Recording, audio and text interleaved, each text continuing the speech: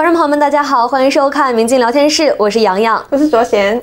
最近呢，利用 AI 的技术，也就是人工智能修复照片呢，又火了起来，大家纷纷呢把老照片都拿去修复。我们来看两张，这一张应该是王祖贤吧？嗯，修复了，其实并不是很大的修复，但是看得出当时是非常非常美。对我们再来看一张林青霞的，哇，这一张真的是高清，看起来是非常非常美。我觉得在我心中，林青霞比王祖贤要漂亮。嗯，那利用老照片修复功能呢，火起来呢，同样还有林徽因。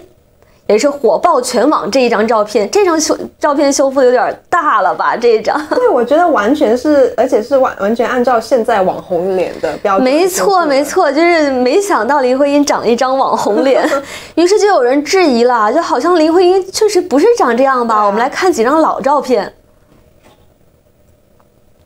嗯，这个跟那个修复的不太一样，是不是？起码没有双眼皮。对，是眼睛是修复比较大的。嗯、这个是他跟梁梁思成的这个结婚照。嗯，再来看看其他的。嗯、这一张是比较出名的那个《人间四月天》的那个书的封面图，也是他年轻的时候。嗯，非常非还是很漂亮，对不对？其实可以说是清秀。对，但是我觉得这一张比修复的一张网红照片要好看。哦，是吗？民国标准来看，可能这个比较对。那随着这个林徽因火了起来呢，她的往事也被翻了出来啊。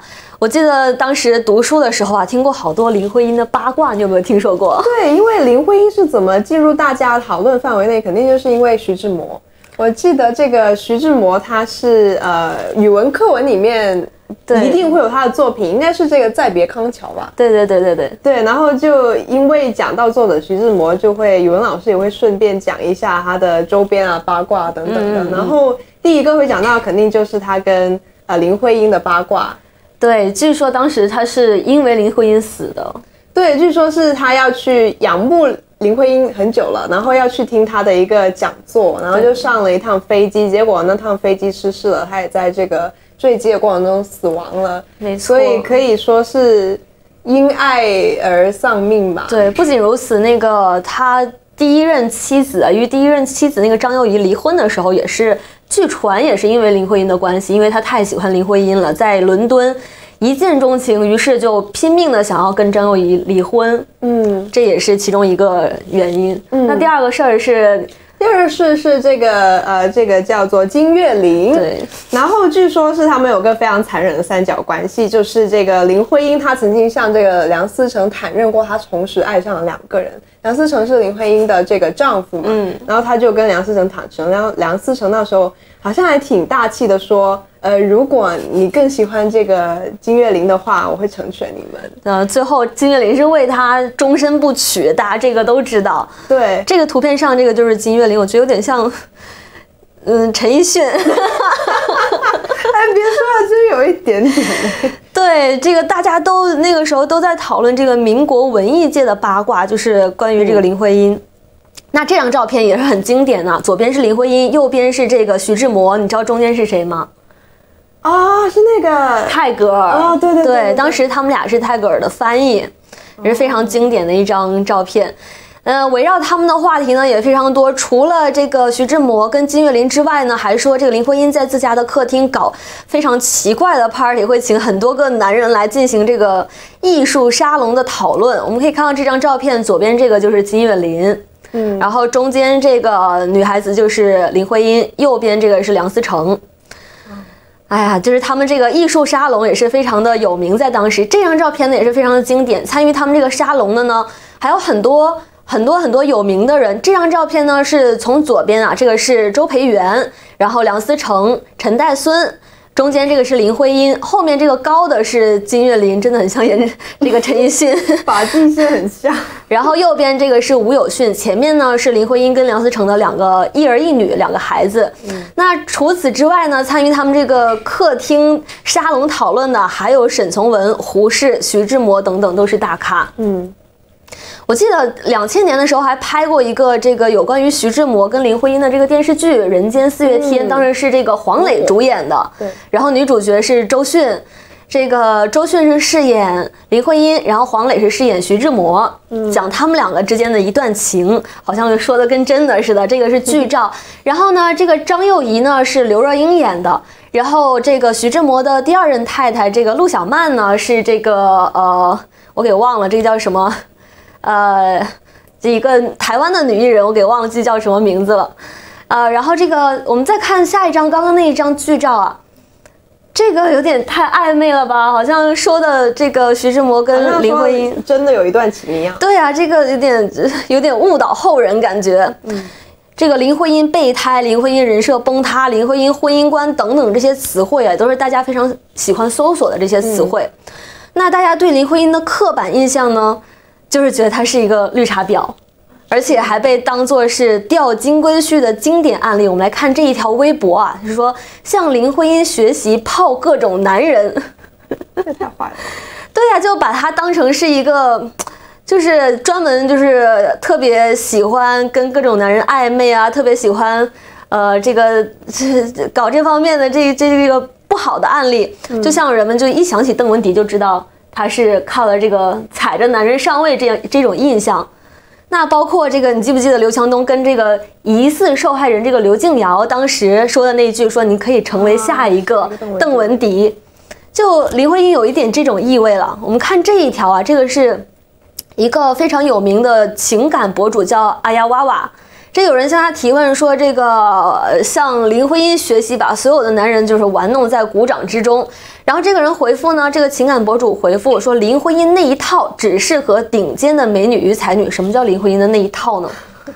这个我感觉大家都是传闻，是不是啊？嗯，那大家对林徽因的印象呢都是非常非常负面的。所以这一期节目呢，就是让大家了解历史的真相，给这个林徽因先生证明。首先呢，我们就从那张被 AI 修复的那张照片开始说起啊。这一张呢是一九二零年林徽因父亲林长民带着她游历欧洲，两个人共用西餐时候拍的。很多人就会觉得，你看这张照片，单看这张照片，这张照片好像就是一个白富美，然后晒这个下午茶，然后精致摆盘，呃，发朋友圈，然后带定位的这种炫耀，很像当今时代这个网红这一种操作，是不是？但是呢，在林呃梁思成和林徽因这一部纪录片中啊，这一部央视拍过这样一部纪录片，这张照片出现的时候配的却是林长民的信。他告诉女儿啊，说带他游欧洲呢，带着三个目的。第一个呢是要他观察各国事物，增长见识；第二个目的呢是领悟学习父亲的胸怀格局；第三个目的呢就是扩大眼光，养成将来改良社会的见解和能力。也是因为这一次游游历欧洲啊，扩宽了视野。林徽因呢，因此就把建筑作为终身的志向。在那个建筑学专业啊，把女生排除在外的年代，她当时是拿到了这个宾夕法尼亚大学的这个学位，呃，是留学美国的，也是非常后来成为了一名非常非常非常出名的一名建筑学家。那不知道还有没有年轻人知道林徽因是中国第一代的建筑学家？反而。很多人知道她这些风月史，是不是？那在当年的这个艰苦条件之下呢，她跟丈夫梁思成带领考察队寻访、测量、描绘、记录当时中国尚存的这些古建筑。我们可以看到这个图片，它爬得好高啊！建立起了中国的这个建筑学体系，非常非常的让人尊敬。抗战时期呢，也是拖着病躯呢东奔西走。其实当时对她来说啊，去美国接受治疗是很容易的。但是呢，他和梁思成却坚持要和这个呃祖国一起吃苦，也是因因为这个病情啊一直拖着，所以呢，他五十一岁的时候就早逝了，才五十一岁啊那个时候，哎，大家不记得这些，反而记得跟谁谁谁疑似暧昧，呃，说他不守妇道，是绿茶婊等等。那林徽因的这一些种种被污名化呢，其实是离不开。一个心机 girl 不遗余力的多年抹黑，就是我们图中看到的这一位，她就是梁思成在林徽因去世之后娶的第二任妻子林珠。就在林徽因去世的大概，如果没记错，应该是半年左右，他就跟这个第二任妻子结婚了。这个女人真是不简单呢！大家肯定都知道林徽因跟梁思成这一对神仙眷侣啊，应该是家喻户晓了。但是很多人不知道，林徽因是早逝之后啊。又娶了这个第二任妻子，就是这一位林珠。那在梁思成、林徽因和他们的一众好友先后去世之后啊，这个林珠就开始通过出书的方式疯狂的开始刷存在感。年轻的时候长这样，应该是我觉得无论是从当时来讲，还是现在的审美来讲，都是跟林徽因差好大一截。嗯，那梁思成跟林徽因呢，留下了大量的学术著作和研究资料，通过整理集合出书。然后这个林珠呢，也是修修改改加前言，一本又一本的署名林珠著、林珠编的这个书籍，也是陆续的出炉了。其实跟他半毛钱关系都没有。林珠也是经常用同一本书的内容啊，换书名、换出本数、换出版社，一版再版。比如说一本梁思成传记，他先后呢就是改名了《大将的困惑》、《困惑的大将梁思成》、《建筑师梁思成》、梁思成等名字出出版过好几版，最后呢就改成了《梁思成、林徽因与我》，于是呢这本书才一举成为畅销书。那大家肯定都知道谁才是销量担当啊？林珠当然是谁呀？谁都不知道。我们可以看刚刚刚刚那一张封面图。封面图上呢，就是左边是林徽因，右边是梁思成，所以呢，林珠是没有办法上版面的，所以她的照片呢上不了版面，只好挤在这个书籍上。那有网友呢就发现呢，这左右这两版呢，左边是旧版，右右边是新版，这两版的书籍是不一样的。你看左边这一张呢，林珠的照片好像是没有右边这个好看，是不是？他觉得这个自己的容貌好像跟林徽因放在一起不太搭，所以呢选了一张自己最好看的照片。那结果没想到右边这个是她跟前夫的结婚照 抠出来的，截掉自己。没错，截掉自己是跟这个前夫程应全的结婚照。那说到这个前夫啊，林珠在跟梁思成结婚前呢，还有过一段婚姻。那在这一本书中呢。林珠呢是大吹自己跟梁思成才是真爱，然后杜撰出了很多关于林徽因的各种各种各种的不好的事情。被他编排的人都已经去世不会说话了，所以当年知道当年情况的人呢还是有在世的。所以零四年这本书刚出来的时候啊，就有圈中的人发文来驳斥。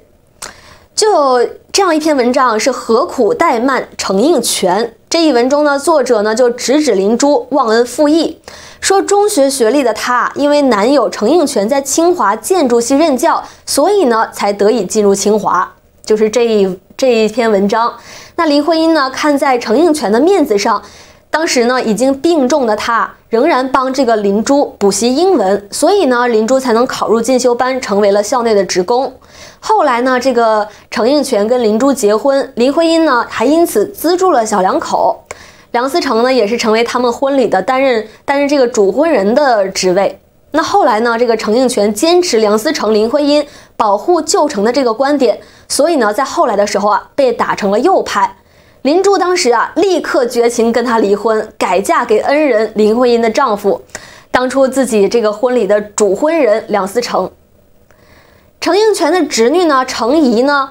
也是看不过眼，后来呢就写了一篇叫做《父亲、叔叔和那个时代的人》这一篇文章，说林珠不但果断的和这个程应全划清界限，还不让一对儿女见爸爸。文中这个写到说，这个程应全跟林珠要结婚，曾经接受林徽因的这个资助。我们来看看上一张图片，啊，说这个程应全坚持这个观点，所以呢被打成了右派。于是这个林珠呢马上就。呃，跟他划清界限，最后还说呢，这件事儿啊，他也写到这个《梁思成、林徽因与我》一书中，说我感到这是一个极大的耻辱，我才感觉是一个极大的耻辱呢。说后来呀，就是被打成右派之后，马上跟他划清界限，还不让那个儿女啊见爸爸。如果孩子偷偷去见爸爸的话呢，被他知道还会挨打。这个图中呢，就是程应全，长得也一表人才的嘛。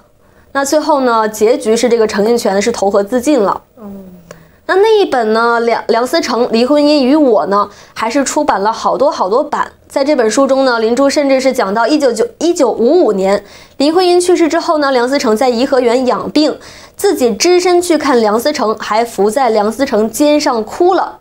但是呢，时间显示这个时候啊，林珠还没有离婚，也就是说，这个时候的林珠与程应泉还维系着婚姻，就与梁思成就是就这样了。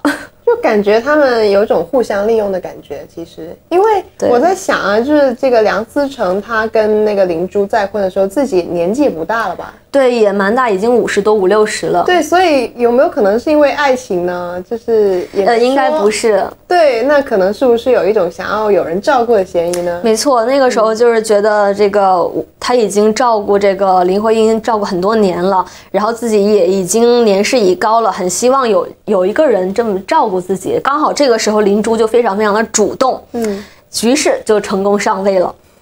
那林珠呢？除此之外呢，还杜撰了林徽因跟徐志摩的爱情故事。徐说徐志摩啊为他抛妻弃子啊等等，说这个徐志摩为去听林徽因演演讲搭的那架飞机，结果坠机身亡。林徽因还让梁思成去捡什么飞机残片挂在卧室墙上，等等等等，很多这个故事传出来。都是他说的。但是呢，其实啊，徐志摩赶飞机的真正原因呢，是因为这个抛弃发妻张幼仪，被家里断了经济来源，为了供养陆小曼，陆陆小曼就是他的第二任妻子，只好四处的打工。但是去过这个林徽因、梁思成卧室的人呢，说也没有见过什么墙上有什么飞机残片呐、嗯这个这件事应该是杜撰出来的。那徐志摩其实啊，确实是热烈追求过林徽因，对这个风流才子呢，十六岁的林徽因呢，也是很可能是动过心。但是他知道啊，这个呃徐志摩是有妇之夫身份之后呢，马上就告知这个父亲林长民，由父亲出面婉拒。当时啊，是这个，其实这个徐志摩呢，是这个林徽因父亲林长民的好友，他比林长民小十岁，比林徽因大概大十岁，就是这样一个年纪。所以呢，当时是徐志摩是先跟张幼仪结婚了，家里安排的，于是呢，他就去留学了，去伦敦。结果在伦敦呢，就呃对这个刚好他们不是去欧洲旅行嘛，就是林长民带着这个林徽因，刚好在伦敦相遇了。于是呢，就一见钟情了，就非要喜欢这个林徽因，就想要抛妻弃子啊！就是当时这个张幼仪刚好怀着孕，天哪！对啊，所以说，当时知道这件，知道这个他有这个老婆之后呢，林徽因马上就拒绝了。呃，而且这个父亲林长民呢，还写了一封信，我们刚刚途中看到了。接着那个这个父女俩呢，就不辞而别了，离开了欧洲。嗯，这也是明明白白有这个林长民信件为证的，是不是？但是后来呢，徐志摩跟张幼仪离婚，据传呢是，呃，也是因为喜欢这个林徽因，但是呢，应该是单方面的。对啊，就自作多情啊！你看这个十六岁的林徽因都懂得要去婉拒了，那肯定就是对从那时候就没有继续发展的可能性。没错，但是因为这个张幼仪她的人设实在是太好了，因为嗯她是中国建国之后第一位女银行家，而且他的就是很优秀，很优秀，而且非常惨，就是被 这个渣男抛弃。徐志摩弄的。没错，所以呢，就是连带着林徽因呢，也才被打成了这个有小三这个标签。嗯但是徐志摩真是个挺渣的。嗯，那高晓松前几年呢，就想说拍这个《林徽因传》这个电影，但是林徽因的女儿呢，梁再冰坚决是不同意片中要出现徐志摩，说徐志摩其实跟我妈没有任何的关系，所以这部这个电影呢，最后也是没有拍成。那林珠杜撰呢，除此之外呢，还有就是林徽因跟金岳霖有暧昧。金岳霖呢，也是说对林徽因呐、痴痴的守望啊，终身不娶啊，等等等等。那这一段呢，恐怕也要让很多人扫兴了。首先呢，这个林珠啊，书中表示说，林徽因对梁思成说的这番话的时候呢，是就是说他那个我喜欢我同时喜欢上两个人，你刚刚说的那一段，这番话呢是一九三二年，但是当时啊。这个金岳霖正在美国留学，林徽因也怀着孩子，两个人是怎么就是隔着这个太平洋怎么相爱的呢？这个梁梁思成还大度的放手，连孩子也不要了，是不是？此外呢，金岳霖好些年呢，其实都有一位同居的外国女友，就是在美国的时候。后来呢，还传呢一度跟这个彭德怀的小姨子谈恋爱，说他有这个女朋友一箩筐，就是所以哪儿来的这个终身不娶呢？他可能确实是没有娶，但是他也不一定就是终身都一直痴痴等候的这个这个林徽因嘛，对不对？那我们可以看到这张照片，左边这个就是金岳霖。此外呢，金岳霖其实还澄清过啊，其实根本没有什么太太的客厅。太太的客厅是怎么来的呢？这个冰心跟钱钟书都有提过。钱钟书的，我记得那本小说叫《猫》还是叫什么，里面有提过这个太太的客厅非常的有名。冰心呢，也是因为非常嫉妒林徽因，所以呢也写过小说，写过文章来这个抨击这个太太的客厅，但是没有说明是林徽因，但是大家都知道其实是林徽因。那大家都知道是暗指林徽因了。那每周的这个他们的沙龙聚会呢，是在金岳霖家举举办的，而且呢，这个当时呢，金岳霖是单身，但是啊，林徽因跟梁思成呢，还有金岳霖三个人确实是好朋友。梁思成跟林徽因的儿子梁从诫，就是这个儿子呀，在母亲去世、父亲另外再娶之后呢，就住在了金岳霖家里，为他养老送终。这个，真是不太容易啊。那梁从诫呢，是最后没有读这个，没有遵从父母的这个愿望，读读建筑学，最后呢是读了历史系，最后呢是当了云南大学的这个历史系的教授，后来呢成立了一个呃公益小组，也是为中国的环保事业做了不小的贡献。反而这个林洙的儿子林哲呀，是嗯，据说是没有上过大学，工作呢也很简单，在国家的一个机关单位里给别人开车。这个啊是林珠，就是已经年就年纪很大了，然后在网上发表这个言论说，跟死人吃醋有什么劲呢？其实我们没什么可比性，够不着他。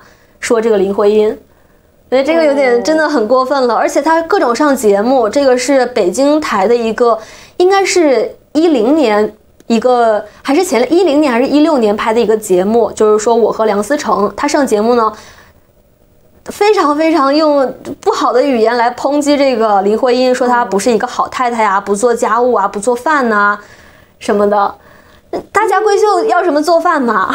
这也不好消费一个去过世了的人吧？没错。各种采访中说这个林徽因不好啊，但是呢，她却没有半点实锤啊。这个程应泉呢，也就是这个呃林珠的前夫，程应泉的侄女程怡呀。就是在之前那张那篇文章中呢，就写到说这个沈从文曾经说过林珠就是爱钱。嗯，其实后来啊，林珠除了将这个梁思成、林徽因留下的资料整理出书消费他们俩之后啊，还把这个手稿、照片、书画、扇面，甚至他们买的股票、批改的论文、梁思成的毕业证等等等等，能卖的全都拿去卖掉了。他真的非常功利主义，从出书到这种最后，你看自己年纪又这么大，还一直上节目，就真的对，没错。其中就有包括图上的这一幅啊，是嘉德十四，呃，一四春拍的时候，这个这个画呢，这个梁思成绘的圣索菲亚教堂画稿，最后呢也是卖出了六十多万。哦，他真的是消费他的亡夫，以此为生。而且还有网友整理了一个清单，有好几页，是一个豆瓣网友叫豆芽，大家可以去翻看一下。你看这些全都是他卖梁思成的东西，嗯，这都是几万、几万、几十万、几十万的，每一项他都列出来的出处以及值多少钱，真的是靠靠消费为靠消费他们为生啊！我觉得真的是很可耻。但是你觉得为什么大家喜欢看这些诋毁林徽因的八卦故事呢？反而不去关注她的这个为这个建筑史做出的贡献呢？因为肯定就是八卦的东西，大家就是知道是传闻，可是就有一种到底是真是假，我还是要看一下那种八卦的心理在。那这种东西就掩盖了他真正的贡献吧？对，确实是，但是。呃，把这个林徽因打成这个不好的标签呢，包括把它打成这个小三标签、交际花的标签呢。除了这个林洙之外呢，大众其实也做了不少贡献，大家去传播呀，去不断的去改写啊、发酵啊。大家为什么会有这种心理呢？是不是因为大家就喜欢消费这种小三文化？大概就是对啊，可能大家觉得自己现实生活中做不了的东西，可以投射在一个这样的文学。可以称得上是巨匠的人物上面，文文艺女青年那种 fantasy 就会让自己觉得很爽，疯狂的踩她，就是她，毕竟她比较完美，比较是一个女神般的存在，大家看不过眼，于是就。把无无限的把它污名化，但是我觉得很不公平的是，大家为什么没有质疑过它的真实性？就没有去想一下哦，这个故事的来源是哪？如果他们知道是灵珠，然后知道灵珠的为人的话，应该就不会这么相信了。对，其实包括我们之前说的那些文章啊，早就已经出版了，但是大家都这些出版的文章为他就是洗清这个冤屈的文章，反而没有传播开来，反而是他这些。呃金岳霖什么终身不娶为了他，然后这个呃啊还有很多这些故事啊，大家都津津乐道。这个后人呢，后人还把这个林徽因的这个 AI 修复的这张图片呢，然后传播开来，就好像把她这个大义凛然的一腔热血简简化成一段暧昧不明的风月往事，哎，真是挺可惜的。嗯嗯。那这一期的聊天室呢，就聊到这儿了。如果你也知道他们的往事呢，欢迎大家跟我们交流讨论，给我们节目下方留言。那大家也记得订阅明镜聊天室哦。我是杨洋，我们下期再见。打开明镜电视，每次都是新世界。节目中言论为个人见解，不代表明镜的观点或立场。YouTube 频道名：明镜火拍。